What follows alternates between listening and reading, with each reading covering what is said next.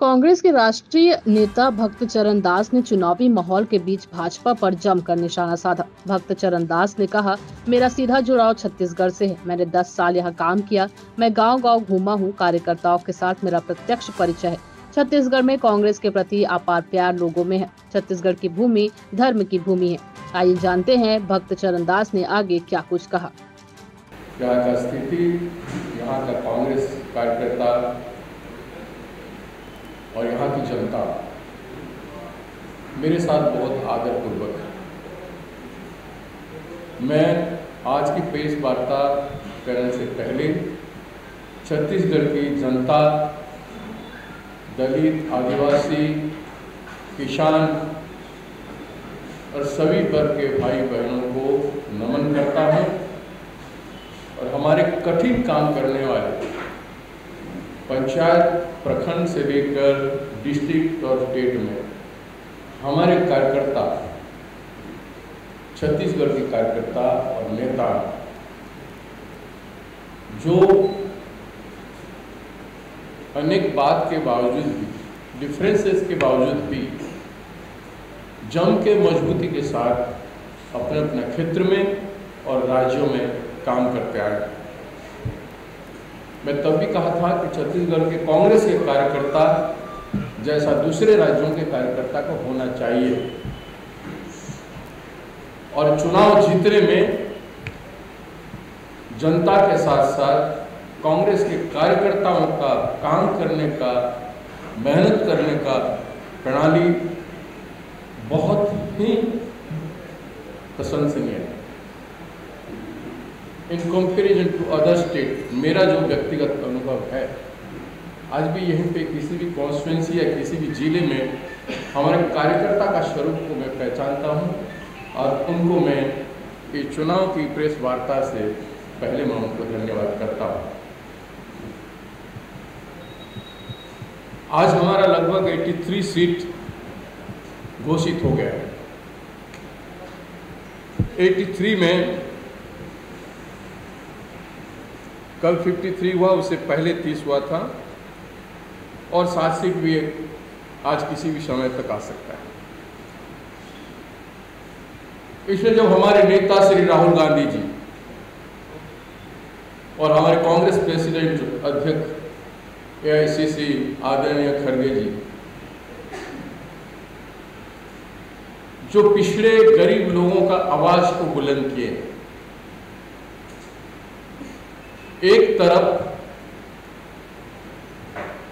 मानव संसाधन का विकास को रोक के प्राकृतिक संपदा का देश के हित में, जनता के हित में विनियोग के बदले अपने केवल पूंजीपति मित्रों को धनाढ़ बनने की कार्यक्रम भारतीय जनता पार्टी के केंद्र की सरकार और राज्यों में स्थापित भारतीय जनता पार्टी की सरकार कर रहे हैं।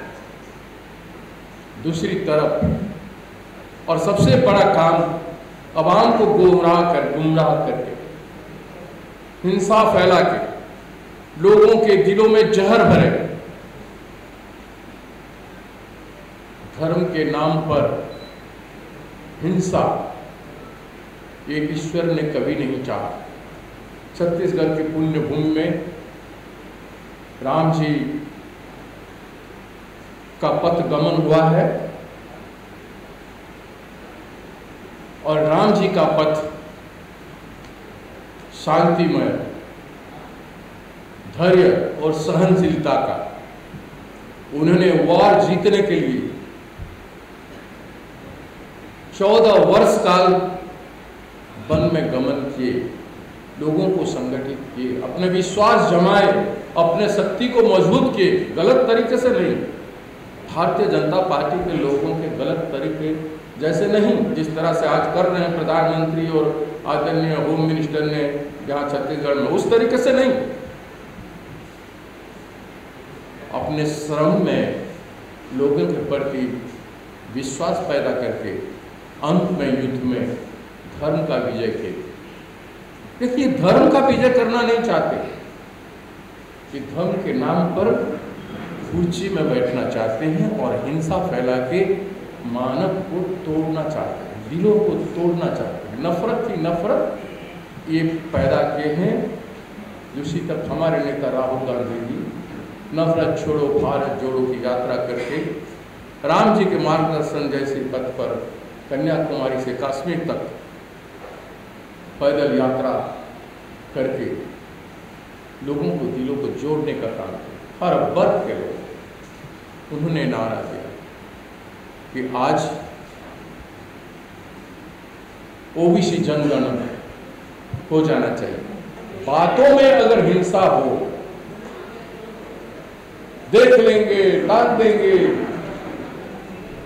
तो क्या बात ये बात क्या बोलता है? ये सब तो क्या करता है? हिंसा फैलाता है ना इस तरह के शब्द?